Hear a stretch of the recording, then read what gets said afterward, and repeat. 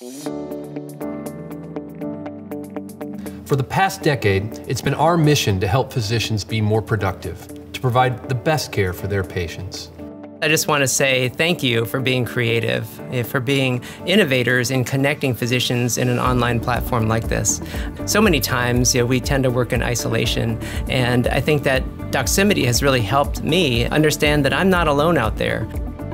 Working with Doximity as a physician felt very unique. I have seen our colleagues at Doximity actively listen to what we had to say, take notes. But the best part of it is that they took action and evolved the product to meet the needs of physicians.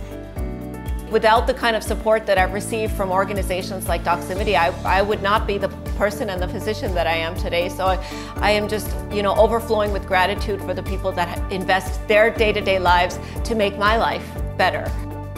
I think really as a physician, what makes me so happy is that we have a company that was listening to our voices, right? It starts from the top, that's the culture the company has implemented. I know there has been so much work that has gone into Doximity from day one, so much thoughtfulness, so much innovation, and what can we do to make doctors' lives or providers' lives better.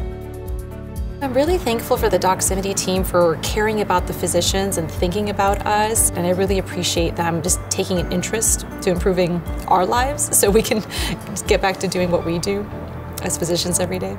It's our life's work to bring technology to medicine, to tackle healthcare's complex problems with both humility and resolve.